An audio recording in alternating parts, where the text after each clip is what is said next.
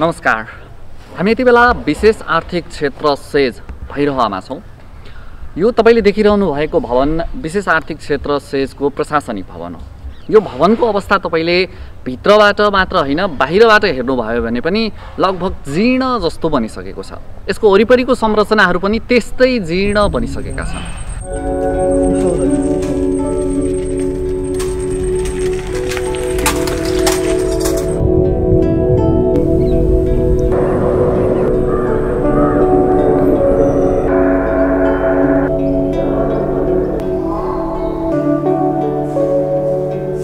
यो विशेष आर्थिक क्षेत्रको भवन यति बेला सुनसान जस्तो छ तर हुनु नपर्ने हो। किनभने यो सेजको स्थापना एउटा महत्त्वपूर्ण उद्देश्यका साथ भएको थियो।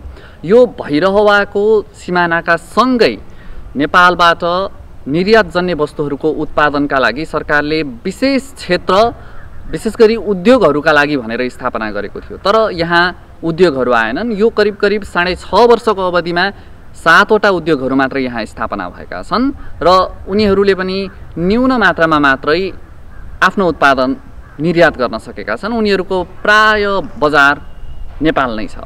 यस्तो अवस्थामा विशेष आर्थिक क्षेत्रमा जुन किसिमले उद्योगहरू आउनुपर्ने थियो त्यो नआएको अवस्थामा उद्योगीहरूले यहाँको भाडा महँगो भएको बिजुलीको सुविधा पर्याप्त नभएको पानीको सुविधा राम्रो नभएको भन्ने गरेका छन्। तर सेजले भने त्यस्तो दाबीलाई अस्वीकार गर्दै आएको छ र यहाँ पर्याप्त सुविधा हुँदा हुँदै पनि विशेष गरी सरकारले निर्यातको लागि राखेको पाँच वर्षभित्र साठी प्रतिशत उत्पादन निर्यात गरिसक्नुपर्ने खालको जुन प्रावधान छ त्यो प्रावधानका कारणले गर्दा उद्योगीहरू यहाँ नआएको तर्क सेजले गर्ने गरेको छ। तर विडम्बना के छ भने यहाँ नेपालकै उद्योगीहरूले यसमा त्यति धेरै चासो दिन सकेका छैनन्। उनीहरूले विभिन्न कारण देखाउने गरे पनि यो सेजभित्र उद्योग स्थापनाका लागि पच्चिसवटा उद्योगहरू निवेदनका क्रममा छन् आवेदनका क्रममा छन्।